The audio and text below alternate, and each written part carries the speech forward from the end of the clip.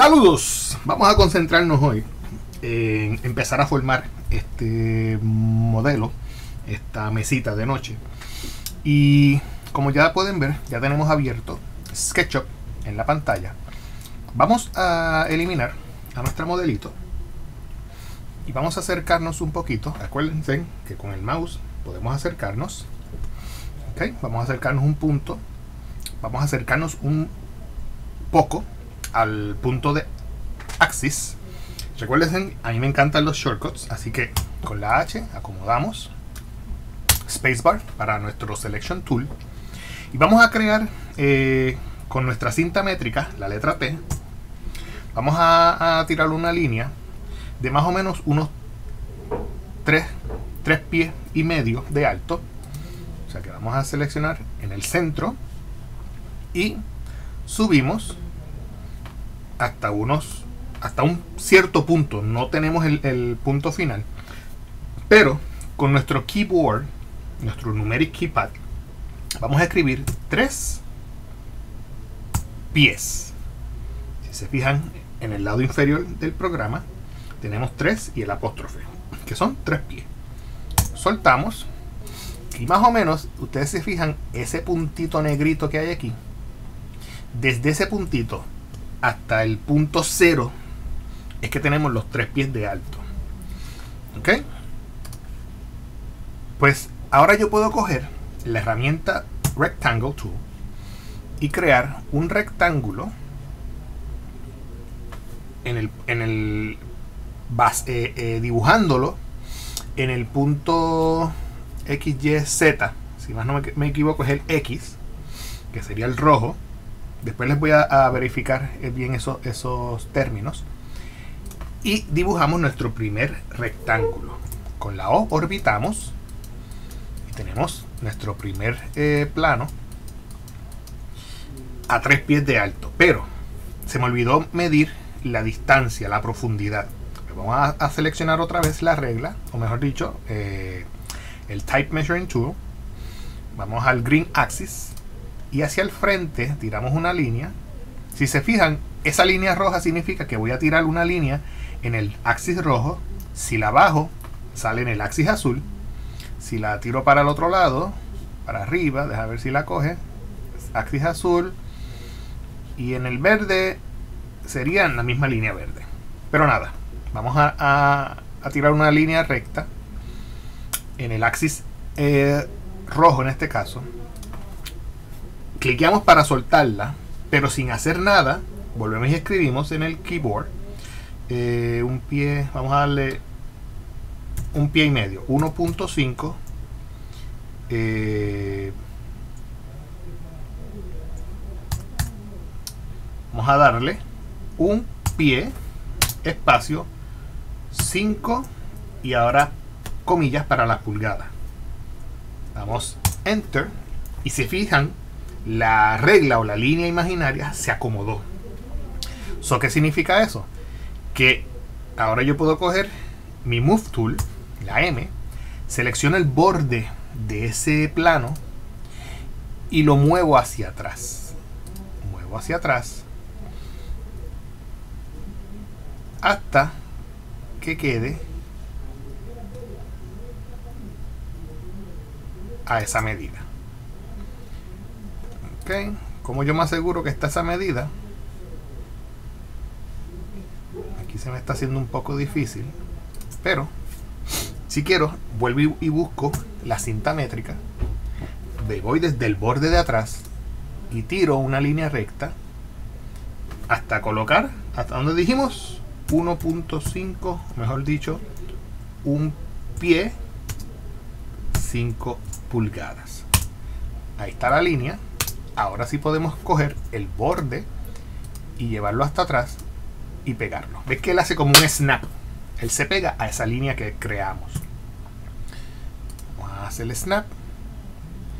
Ok, y soltamos. Ok. Ya podemos, o mejor dicho, borrar estas líneas imaginarias con el eraser, la letra E. Borro esta de acá abajo. Esta la voy a dejar. Porque quiero tener esa misma guía hacia el otro lado. So, ya tenemos un objeto o un plano que mide, si seleccionamos nuestra regla de medidas, dimension, un punto al otro punto, tenemos, si se fijan, 1.5 de profundidad y de alto 3 pies de alto. ¿Ok?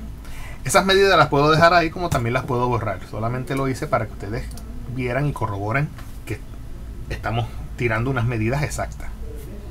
Ok, pero este plano yo lo necesito que sea de 3 cuartos de ancho.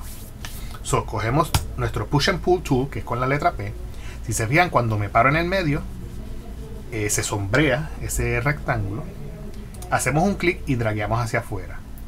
Empujen hasta donde ustedes quieran. Lo importante ahora es que sin, sin mover el mouse, eh, sin hacer clic en el mouse, simplemente vuelvan y escriban 3 cuartos. 3 backslash 4. Abajo, si se fijan en la distancia, está diciendo que ese push and pull usted ahora lo quiere a 3 cuartos. Cuando le da Enter o Return, el objeto se reduce a esos 3 cuartos. O para orbitar. Y si se, fijan, ya tenemos, como quien dice, una pequeña plancha. Perdón, con las medidas eh, que seleccionamos y a 3 cuartos. Ahora bien, algo que quiero eh, advertirles.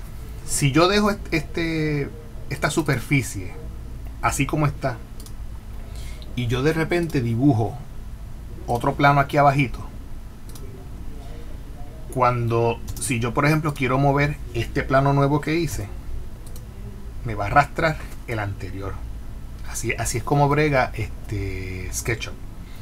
Toda superficie que se toque queda pegada. Yo no quiero eso. Vamos a darle un undo. ¿Y cómo yo evito eso? Pues miren, ustedes seleccionan Selection Tool, hacen un, drag and drop para seleccionar toda, eh, todo el objeto, le hacen un right click con el lado derecho del mouse y seleccionan Make Component. Al seleccionar Make Component, le vamos a dar un nombre, vamos a ponerle que este es el lado um, derecho, lado der eh, mesita. Enter y ya ese objeto queda como que encapsulado, sólido, solo. O sea que si ahora yo quiero crear otro objeto aquí abajo, por ejemplo, quiero mover ese objeto, ese objeto no se pega al anterior. So, vamos a tener presente eso todo el tiempo. ¿Ok? So, ya tengo mi primer plano o mi primer lado Ahora necesito crear el otro lado. Pues no voy a dibujar otra vez el otro lado. Cojo este y hago una copia. Pero ¿hasta dónde yo puedo llevar esa copia? Pues miren. Vamos a coger la, la, cinta métrica y vamos a llevar desde el lado de afuera. Yo quiero que esa mesa mida unos unos tres pies también vamos a medir desde afuera y tiramos soltamos no he hecho clic tres pies. Enter y la línea se mueve solita. So, ¿qué vamos a hacer ahora? seleccionamos nuestro plano o nuestra plancha que ya está hecha seleccionamos con la M el Move Tool y presionamos para duplicar la tecla de opción. Si se fijan el cursor cambia a un símbolo de más. Pues ahora, cuando yo haga clic y drague, voy a hacer una duplicación de ese objeto. Si lo quiero mantener en esa línea recta, presiono Shift para que no se me mueva y lo llevo hasta la otra línea, que es el punto donde se supone quede esta planchita. ¿Ok? Pues ya tenemos, orbitamos los dos lados lado derecho y lado izquierdo. Aunque tenemos el mismo símbolo, o sea, el mismo componente, pero duplicado. Si yo quiero ponerle a este otro nombre, pues yo puedo seleccionarlo, eh, le doy un right click y le digo Make Unique. ¿ok? A ser único.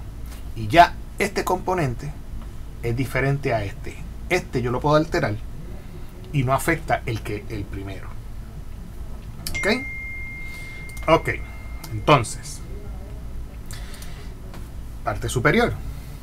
Pues la parte superior la podemos crear acá abajo y después subirla.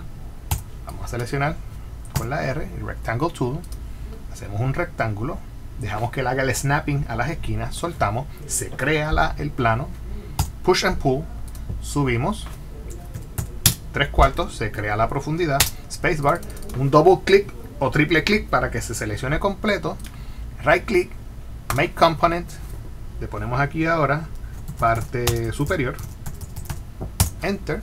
Y ya creamos un componente. Con el Move Tool lo movemos de abajo hacia arriba. Con Shift para que se mantenga en una misma línea.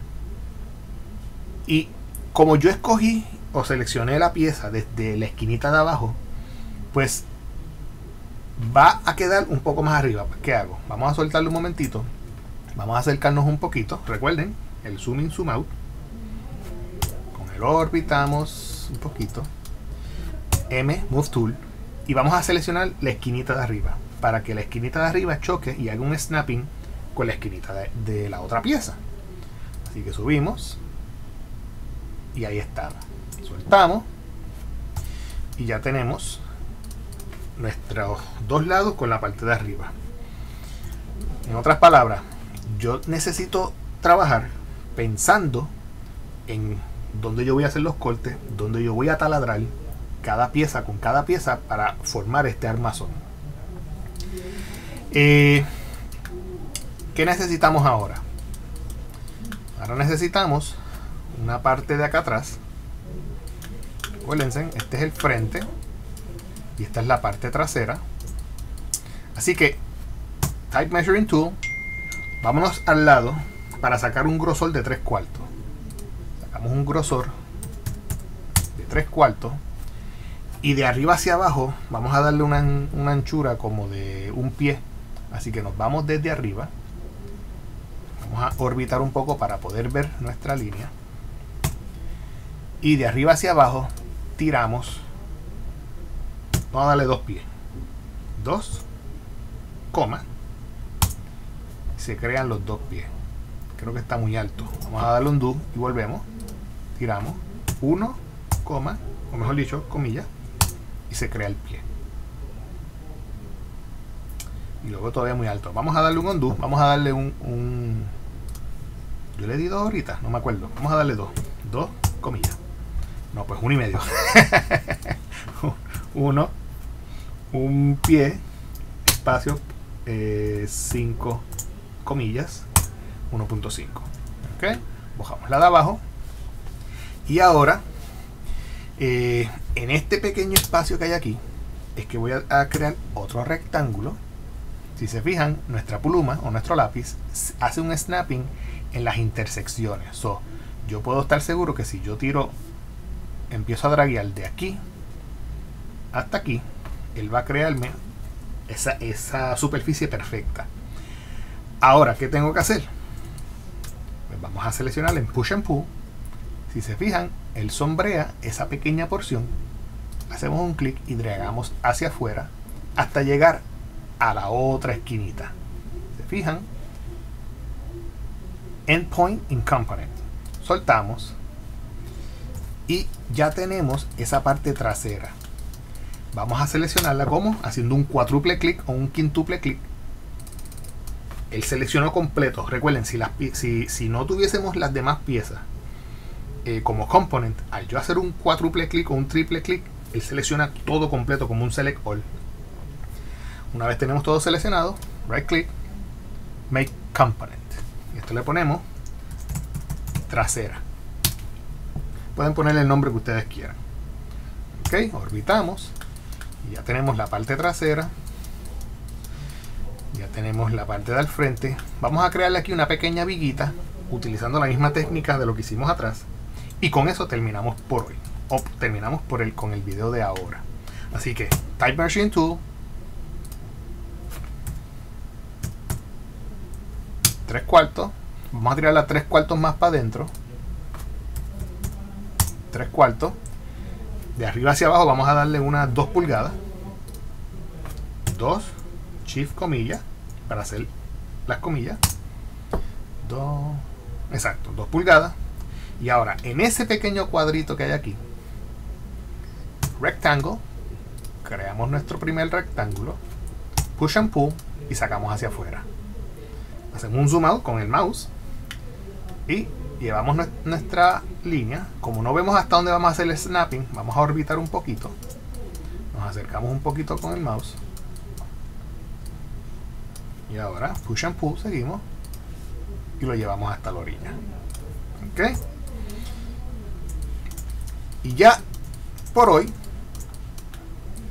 hicimos nuestro primer cajón o nuestra primera mesita sencilla en donde en la vida real le, iba a meter los tornillos en un punto por aquí o en un punto por acá, si acaso en el medio, en el lado de acá, la misma historia. Taladro por aquí, taladro por acá, taladro por acá. Tengo unidas estas tres piezas. Y acá lo mismo. Taladro por aquí, aquí, aquí. Taladro aquí, aquí y aquí para unir todas estas piezas. Esta del medio puedo ataladrar de arriba hacia abajo como tres tornillos. Eh, ya que al final esos tornillos van a quedar tapados con el laminado. Sea que yo sé que al final yo voy a laminar este lado, este lado y este lado. Así que por hoy hemos terminado este ejercicio. Ya en el siguiente video vamos a crear la gaveta de la mesita para entonces ya finalizar con el proyecto para poder llevarlo del concepto a la realidad. Muchas gracias.